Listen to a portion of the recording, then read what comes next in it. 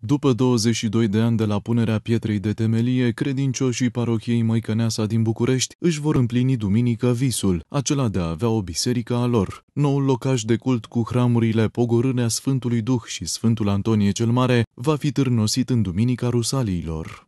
Duminică pe 19 iunie va avea loc slujba de târnosire sau de sfințire, cum se mai spune, a bisericii Măicăneasa cu hramul Sfântul Antonie cel Mare care este în cotoieria uh, sectorului capitală și este localizată, adresa este pe șoseaua Gheorghe Ionescu Siseci, numărul 1315.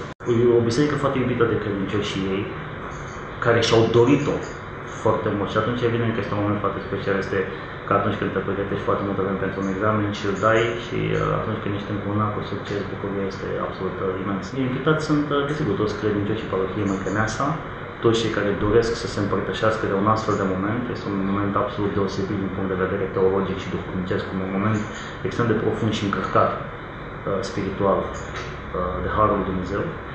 Uh, și uh, ctitorii bisericii aceia care sunt încă în viață, pentru că se ridică și alte cele veșnice, toți sunt invitați.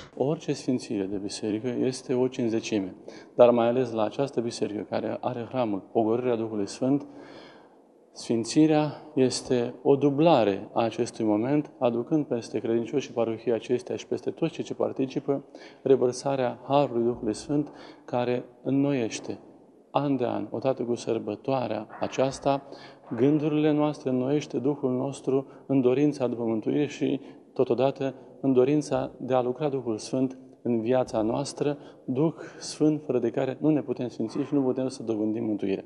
Parohia a fost înființată în iunie 1951, când a fost sfințită capela parohială cu hramul Pogorârea Sfântului Duh. Pe 31 iulie 1994 a fost pusă piatra de temelie a noii biserici, a cărei construcție a început în anul 2001, odată cu venirea noului paroh, a vrednicului de pomenire, Părintele Mihai Lup. Slujesc la această biserică uh, din 2014, despre sfârșitul anului 2014. Biserica este, a fost construită, înălțată și pictată, deci făcută integral de Părintele Mihailu, care a trecut la cele veșnice chiar cu un an de zile înainte să, să termine, să termine lucrările. Slujba de sfințire va fi oficiată de preasfințitul părinte Timotei Prahoveanul, episcop vicar al Arhiepiscopiei Bucureștilor.